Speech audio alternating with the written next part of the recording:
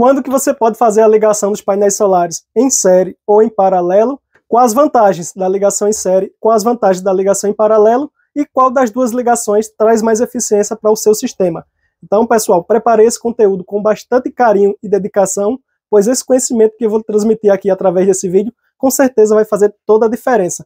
Então aproveita, deixa esse joinha e esse curtir aí para fortalecer. Compartilhe esse vídeo aí com seus amigos para você levar esse conhecimento adiante. E você ainda não é inscrito aqui no canal, então aproveita essa oportunidade, clique logo aí nesse botão inscreva-se. Marque também a opção do sininho para você receber sempre notificações de quando eu postar os vídeos. E vamos lá agora para o que interessa. Então, pessoal, para iniciar, primeiro vocês têm que aprender quando que você vai poder ligar em paralelo e quando que você tem que ligar em série. Então vocês podem observar aqui, eu coloquei três exemplos de bancos de bateria, onde vamos ver aqui a tensão do banco de baterias e vamos ver qual a tensão de carga necessário para cada banco de baterias. Como vocês podem observar aqui, esse primeiro exemplo, temos duas baterias de 150 ampere e a ligação delas aqui estão em paralelo. Como vocês podem observar, vejam aqui, o negativo dessa primeira bateria conectado ao negativo da segunda bateria, positivo da primeira bateria conectado ao positivo da segunda bateria. Na ligação em paralelo, somamos o valor de corrente, então 150 ampere dessa bateria mais 150 ampere dessa bateria, e vai permanecer a mesma tensão. Então teremos aqui um banco de baterias de 12 volts e 300 amperes hora. E agora, qual a tensão de carga necessário aqui para esse banco de baterias em 12 volts? Então, falo para vocês, o valor mínimo de tensão de carga para o banco de baterias em 12 volts é 14,4 volts. Se eu tenho, por exemplo, aqui esse banco de baterias, essas baterias estão com a tensão de 12,6 volts. Se eu aplico aqui uma tensão de 12,6 volts, eu não consigo carregar essas baterias. Tem que ter uma diferença de potencial, tem que ter uma diferença de tensão. A tensão que eu vou aplicar para a tensão que está naquele momento para que essas baterias carreguem. E esse valor de tensão mínimo de carga é os 14.4 volts. Aí eu venho para esse segundo exemplo aqui, ó. Agora eu tenho duas baterias também de 150 ampere ligado em série. Como vocês podem observar aqui, ó, positivo da primeira bateria conectado ao negativo da segunda bateria. E eu tenho disponível aqui para uso o negativo da primeira bateria e o positivo da segunda bateria. Nesse caso aqui, na ligação em série, somamos o valor de tensão. Então, 12 volts dessa primeira bateria mais 12 volts dessa segunda bateria e permanece o mesmo valor de corrente. Então, nesse caso aqui, temos um banco de bateria com 24 volts e 150 ampere-hora. Qual a tensão mínima necessária aí de carga para o banco de baterias em 24 volts? Esse valor é 28.8 volts. E agora, nesse outro exemplo aqui, ó, com quatro baterias ligadas em série, as quatro baterias de 150 ampere.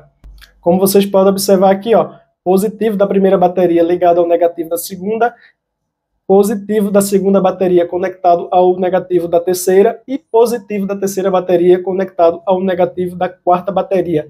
Disponível para uso aqui fica o negativo da primeira bateria e o positivo da quarta bateria.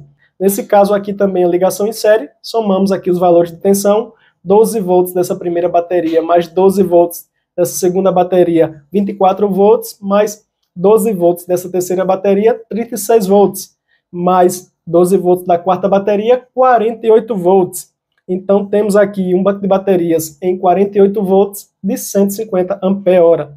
E a tensão necessária aqui para carregar esse banco de baterias é a tensão de 57,6 volts. Então, vocês aprenderam aqui qual a tensão mínima necessária de carga para cada tensão de banco de baterias. Agora vamos para os exemplos da ligação aqui dos arranjos dos painéis. Eu tenho aqui um sistema com um banco de baterias em 12 volts e tenho dois painéis de 150 watts para fazer essa ligação. Como vocês podem observar aqui, tem os dados técnicos desse painel de 150 watts então, aqui, a potência máxima dele, potência de pico 150 watts, tensão nominal, preste bem atenção aqui, 17,91 volts. E a corrente nominal dele, 8,38 amperes. Então, vocês lembram do valor de tensão que é necessário para carregar o banco de baterias em 12 volts? 14,4 volts. Então, quer dizer que esses painéis aqui, eles já têm a tensão suficiente para conseguir carregar o banco de baterias em 12 volts. Então, pessoal, essa ligação Então a ligação aqui será em paralelo. Na ligação em paralelo, somamos o valor de corrente de cada painel. Então vamos pegar aqui 8,38 amperes desse primeiro painel. Vamos somar com 8,38 amperes desse segundo painel. Então, nesse arranjo aqui, vamos ter uma corrente de 16,76 amperes. E o valor de tensão vai permanecer aqui os 17,91 volts. Aí temos aqui um cálculo para a gente ver que não tem perda nenhuma na ligação em paralelo. Vamos pegar aqui, pessoal, esse valor de tensão, que é o valor de tensão total aqui desse arranjo, vamos multiplicar pelo valor da corrente total desse arranjo, que esse valor foi aqui, ó, a soma, né? Os 16,76 amperes. Então, vamos ter uma potência aqui de 300 watts. Como vocês podem observar, é o valor equivalente aqui à soma dos dois painéis. Então não temos nenhuma perda de potência nessa ligação aqui em paralelo. Então vamos ligar os painéis em paralelo para esse sistema.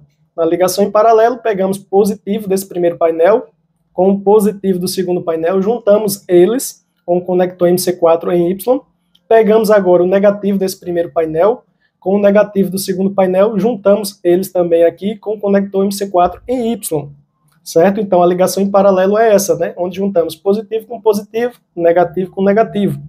E aqui levamos cabo positivo e negativo até o disjuntor e do disjuntor até o controlador de carga.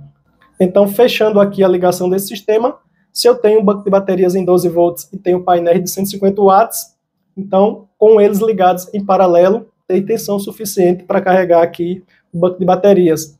Vocês prestem atenção que eu não estou relacionando aqui a capacidade, né? Quantos ampere-hora tem a bateria. É só um exemplo citando para vocês que qual a tensão necessária para carregar o banco de baterias. Dimensionamento do banco de baterias, eu já tenho vários vídeos aqui no canal. Então, se você ainda não é inscrito, aproveita, se inscreve e dá uma pesquisada que você vai encontrar. E tem diversos projetos também, onde eu dimensiono aí parte por parte, que já tem prontinho lá. Você também dá uma pesquisada, você encontra aí. Beleza, pessoal? Então, continuando aqui, vamos para outro exemplo agora, como vocês podem observar agora, um banco de baterias ligados em série e em 24 volts, com os mesmos dois painéis de 150 watts. Qual a tensão necessária para carregar esse banco de baterias em 24 volts? A tensão necessária é 28.8 volts. Então aqui, ó, se fôssemos ligar em paralelo, nesse caso, não daria, não teria tensão suficiente para carregar essas baterias. Então, nesse caso, a ligação obrigatoriamente terá que ser em série. Então vamos lá. Na ligação em série, somamos o valor de tensão. Então vamos somar né, os 17,91 volts desse primeiro painel, mais 17,91 volts desse segundo painel. Teremos uma tensão total aqui nesse arranjo, nessa ligação, de 35,82 volts. Aí sim, né, já está com o valor necessário para carregar esse banco de baterias. Está com valor acima dos 28,8 volts e aqui vai permanecer o mesmo valor de corrente, né, os 8,38 amperes. Aí, para vocês verem que não tem perda nenhuma também aí nesse arranjo, vamos fazer a multiplicação aqui, ó, dos 8,38 amperes vezes né, o valor de tensão aqui do arranjo, valor de tensão total, que é os 35,82 volts, e teremos um valor aqui de 300 watts também, que é equivalente à soma dos dois painéis aqui. Então, não tem perda também de potência na ligação em série. Então, faremos a ligação aqui desse sistema em série. Pegamos aqui o negativo do primeiro painel, conectamos ao positivo do segundo painel e sobrará aqui para uso positivo desse primeiro painel e negativo desse segundo painel, onde conectamos aqui os cabos, levaremos até o disjuntor e desse disjuntor até o controlador de carga. Aí sim, esse sistema aqui que tem banco de baterias em 24 volts, com painéis de 150 watts tem que ser ligados em série para que eles tenham a tensão necessária, o suficiente aí para carregar as baterias. Aí agora vem a questão, se eu tenho banco de baterias em 12 volts e tenho dois painéis de 150 watts, eu tanto posso ligar eles em paralelo, quanto também eu posso ligar eles em série. Isso, claro, se os controladores de carga for MPPT. Se for controlador de carga PWM, aí sim também eu tenho a obrigatoriedade de ligar os painéis em paralelo para o banco de baterias em 12 volts. Se eu ligar eles em série, eu vou ter a geração como se fosse apenas de um painel de 150 watts, então eu terei perdas. Mas nesse caso aqui do controlador de carga MPPT, então ele vai fazer a conversão, ele tem um algoritmo aí onde ele vai reduzir o valor de tensão, né, do caso aqui dos 35, 36 volts para 14.4 volts e vai aumentar a corrente de saída aqui para o banco de baterias. Então ele tem essa compensação. Mas qual dessas duas ligações aqui é mais vantagem para você ou qual dessas duas ligações aqui tem mais eficiência? Então vamos lá. Primeiro, vamos falar um pouco aqui da vantagem de ligar os painéis em paralelo. A vantagem de ligar os painéis em paralelo é que eu não tenho problema com perdas por sombreamento, caso um desses painéis aqui ele seja sombreado. Então vamos dizer que esse painel ele está sombreado, ele vai perder a eficiência dele aí 50%. Vamos dizer que ele só consiga gerar aí 75 watts. E esse outro aqui ele não está sombreado, esse outro vai gerar a eficiência máxima dele, os 150 watts. Ele não será atingido, não terá perda. E isso para dois, para três, para quatro painéis. Já aqui na ligação em série, se eu tiver esse painel aqui afetado por sombra e ele reduzir essa geração aí de 50%, ele começar a apenas fornecer 75 watts, esse segundo painel aqui também só vai fornecer 75 watts. E assim seria, se tivesse 3, 4, 5 painéis em série. Ele só iria fornecer a mesma capacidade daquele que está sombreado. Então, no caso aqui, a geração se limita ao que está com menor eficiência. E agora eu falo para vocês a vantagem da ligação em série em relação à ligação em paralelo. Como vocês podem observar, é uma ligação mais simples em relação à ligação em paralelo. Como trabalha com correntes menores, já que a ligação em série somamos apenas a tensão, então podemos também utilizar cabos de menores bitolas em relação à ligação em paralelo. Vamos citar o exemplo aqui. Ó. Se eu tenho quatro painéis desse ligados em paralelo, então já não seria aqui o cabo de 4 milímetros para usar, seria o cabo de 6 milímetros se eu tenho quatro painéis desses ligados em série ou a ligação série paralelo, eu permaneço aqui com cabo de 4 milímetros. Poderia ser até, na ligação em série aqui, até menos do que 4 milímetros. Só que esses cabos para ligação de painéis fotovoltaicos, os cabos específicos, dificilmente a gente encontra um fornecedor que tenha cabos de menores bitolas, por isso que o mínimo que a gente coloca é 4 milímetros. Então, nesse caso, você poderá ter uma redução de custo aí com o material. Cabos de menores bitolas, são mais baratos e menos componentes. No caso aqui da ligação em paralelo, foi necessário aqui a ligação de conectores MC4. Dependendo da quantidade de painéis também, você pode utilizar mais cabos para dividir essa corrente que vai descer aí por eles. Então você é quem decide aí qual dessas duas opções é mais vantagem. É mais vantagem você reduzir o custo na ligação e na compra dos materiais, ou é mais vantagem na ligação aqui em paralelo, onde você tem menos risco de perdas por sombreamento. Agora, desses dois tipos de ligação aqui, qual deles é mais eficiente? Então, como vocês podem observar aqui, ó, eu tenho esse gráfico. Esse é um gráfico que mostra aqui as curvas de eficiência de conversão. Esse gráfico eu tirei do manual do controlador de carga da EPV. O modelo Extra 3415, que esse é um controlador de carga MPPT de 30 amperes, que ele trabalha com tensões de 12 até 48 volts. E esse estudo para gerar esse gráfico aqui, ele foi feito aí na melhor condição de geração dos painéis, com a intensidade de iluminação de 1000 watts por metro quadrado e na temperatura ambiente de 25 graus. Pois, se vocês não sabem, essa temperatura aqui de 25 graus é a temperatura mais adequada para que seu painel aí gere o máximo que ele pode. Muitas pessoas pensam que quanto mais calor, quanto o dia mais quente está, melhor a geração. Não, pessoal, se você tiver uma temperatura aí em torno dos 30, 35 graus, 40 graus, você vai estar perdendo a eficiência dos seus painéis. O que importa não é a temperatura, o que importa é a radiação solar. Então, para quem já tem sistemas de energia solar há bastante tempo, já passou aí por períodos de inverno, verão, primavera, outono, já perceberam que nos dias de inverno, onde está um dia frio, mas está com a radiação solar muito boa, é nesses dias que os painéis atingem o um máximo de geração. Então você deixa aí nos comentários se você já observou isso. Aí nesse estudo aqui foi levado em consideração as tensões do arranjo dos painéis com 17 volts, com 34, com 68 volts, para uma tensão nominal do banco de baterias em 12 volts, que foi o caso que a gente mostrou aqui nessas ligações. No exemplo aqui, para a gente tirar a dúvida, qual a melhor ligação para o banco de baterias em 12 volts? Eu ligar os painéis de 150 watts em série ou em paralelo. E aqui está a tensão deles, se tiver ligados em paralelo 17 volts, se tiver ligados aqui dois em série 34 volts e 68 volts se fosse quatro painéis ligados em série. Então aqui, pessoal, está esse gráfico né, da curva de eficiência. Como vocês podem observar aqui, ó, nesse eixo está a eficiência de conversão, os valores aqui em porcentagem, e aqui nesse outro eixo está aqui a potência de carga. Um controlador de carga desse de 30 amperes para um sistema em 12 volts, então ele trabalha com potência de painéis de até 390 watts.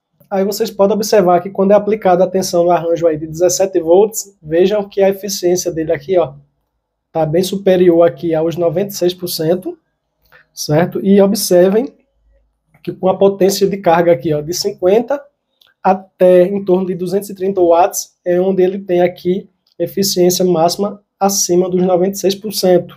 Passando aqui desses 230 watts, se aproximando aqui dos 390 watts, que é o valor máximo de potência que o controlador de carga suporta, ele também baixa um pouco a eficiência. Não é muito, mas você vê que baixa. Então, outra coisa que a gente deve levar em consideração aqui por esse gráfico é que quando a gente usa um controlador de carga, ele trabalhando aliviado, sem estar tá forçando muito, sem estar tá colocando o máximo de eficiência dele, ele trabalha melhor. Porém, a perda de eficiência também é mínima. Como vocês podem observar, ainda fica aqui na casa dos 94%. Então, pessoal, o que tiramos de aprendizado aqui desse gráfico é que quanto menor a diferença da tensão do arranjo dos painéis para a tensão do banco de baterias, então quanto menor essa diferença aí para fazer a conversão, mais eficiente se torna o seu sistema. Seguindo aqui com os exemplos, pessoal, nesse caso aqui agora, com um painel de 340 watts para ligar aqui no sistema em 24 volts. O painel de 340 watts, ele tem a tensão nominal de 37.5 volts. Então ele já tem a tensão mínima necessária para carregar as baterias ligadas em série, em 24 volts. Então, nesse caso aqui, ó, a ligação pode ser feita em paralelo, que com certeza vai ter carga suficiente para carregar as baterias. E eu também posso ligar esses painéis em série, somando aqui a tensão dos dois painéis, tendo uma tensão de 75 volts, eu posso utilizar no controlador de carga para carregar aqui as baterias em 24 volts. Mais uma vez aqui eu te faço a pergunta, qual dos dois aqui é mais vantagem?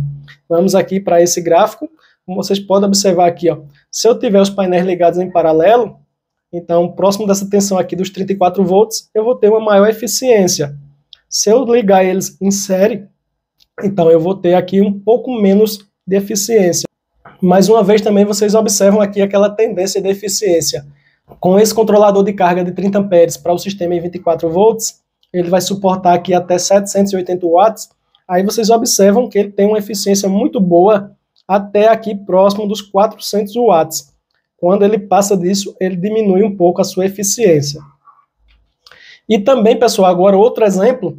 Agora, se eu tenho um banco de baterias em 48 volts, quatro baterias ligadas em série e tenho aí dois painéis de 340 watts, então com a ligação em paralelo, onde vai permanecer a mesma tensão aí, não teria tensão suficiente para carregar essas baterias, que na ligação aqui de 48 volts, temos que ter uma tensão de 57.6 volts. Então aqui teríamos que obrigatoriamente ligar os painéis em série, formando aí os 75 volts, então ficaria com a tensão acima aí dos 57.6 volts e conseguiria carregar esse banco de baterias. Mostrando a tabela aqui para vocês, esse gráfico, vocês podem observar aqui, ó, com a tensão em torno ali dos 68 volts, ele tem um máximo aqui de eficiência. E vocês observam aqui aquela tendência, né, que aqui, ó, ele é mais linear, né? Ele tem uma boa eficiência aqui, ó, a partir dos 600 watts, vem, vem, e ainda chega aqui até o máximo que suporta aqui, né, o controlador de carga desse de 30 amperes em 48 volts, que é 1560 watts. Então, pessoal, concluído esse vídeo, essa aula, espero que vocês tenham aprendido aí bastante com esse conteúdo. Se vocês gostaram, deixa esse like para fortalecer. Se ficou alguma dúvida ainda, deixa nos comentários que eu te respondo. Se você ainda não é inscrito aqui no canal, aproveita essa oportunidade, clica aí no botão inscreva-se, marque também a opção do sininho para você receber sempre notificações de quando eu posto um vídeo. Um grande abraço, fique com Deus e te aguardo aqui nos próximos vídeos.